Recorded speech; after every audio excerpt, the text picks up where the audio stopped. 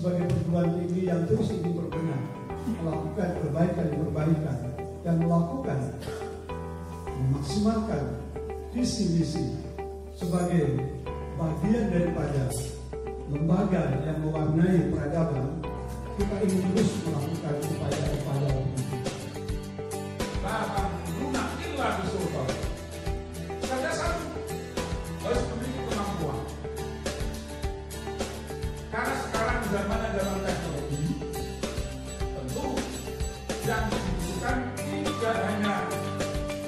Kemampuan dalam bidang ilmu agama saja, tetapi harus termasuk ilmu sains dan teknologi, bahkan sekarang robotik yang sudah dikarenakan jauh sebelum COVID datang, alhamdulillah kawan-kawan basah jauh cepat merespon sebagai tenaga yang biasa.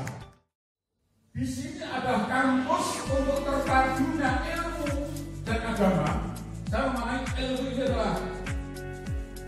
dan teknologi yang seperti makalah bukan hayatul kata wallahi bil ilmi wal qudar wa illam yakuna la ibarat lidatihi eksistensi pemuda eksistensi mahasiswa eksistensi pelajar hanya dengan dua hal. Yaitu dengan ilmu sains dan ilmu agama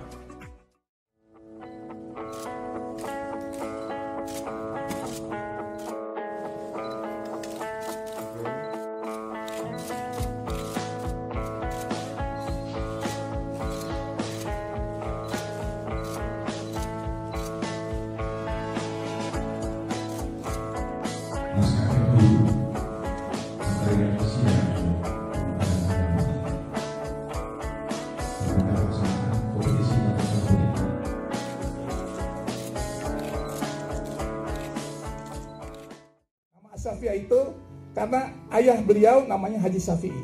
Dan beliau adalah uh, nasaban wa masaban. Nasab keturunan dan masab Syafi'i ahli sunnah wal jamaah. Seperti itu. Jadi Asafia ini alhamdulillah uh, sebagian besar dari masyarakat Jakarta terutama uh, paham dan kenal uh, daripada uh, Bapak Kiai Haji Abdullah Syafi'i. kita sudah tiga tahun mengirimkan anak madrasah untuk lomba internasional robotik pernah kita di di Amerika, Kanada, di Rusia, dan di Australia. Anak kita alhamdulillah selalu mewakili Indonesia.